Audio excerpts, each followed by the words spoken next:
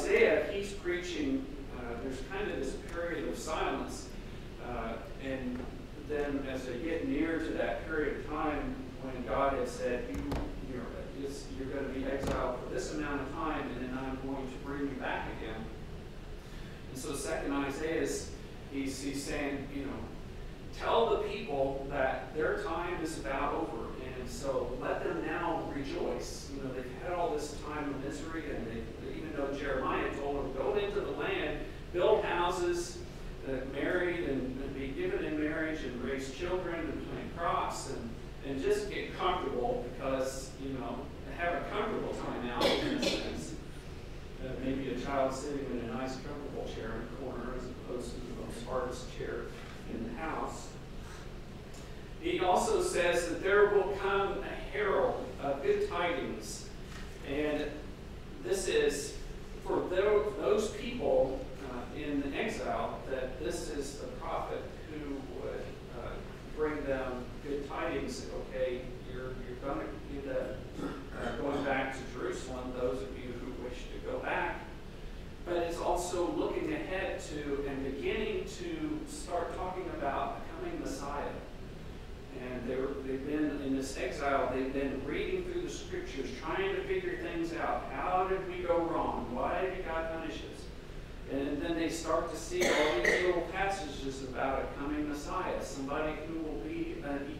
Savior, somebody who will be in the line of David. He will be a comforter and a Savior. Then we get to the second reading this morning, which is obviously post resurrection. It's uh,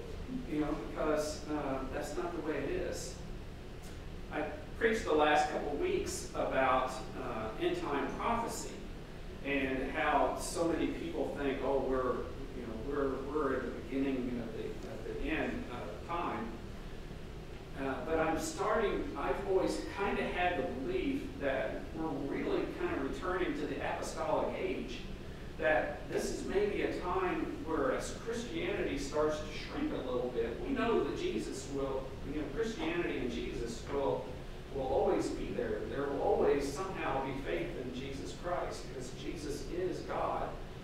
Um, but we need to kind of go back and look at uh, the book of Acts and some of these epistles that were written and figure out how did the church start from Jesus and with the apostles and then spread itself out, you know, throughout the whole world. How did they do it?